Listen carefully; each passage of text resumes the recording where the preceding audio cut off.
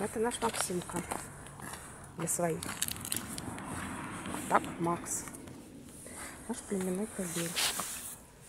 Такого интересного цвета. Смотрите. Ага. Вот хорошего размера. Не маленького. Вот где-то 2, 2,8 килограмма. Вяжет самостоятельно. Очень красивых детей дает. Пойдем, котик, пошли, пошли, пошли, пошли. Молодец, ты все замечаешь. Да, да. Вот. Ну, есть все сертификаты, все допуски. Мы находимся мы в Киеве. Обращайтесь, пожалуйста. Мы будем ждать невесты, так сказать.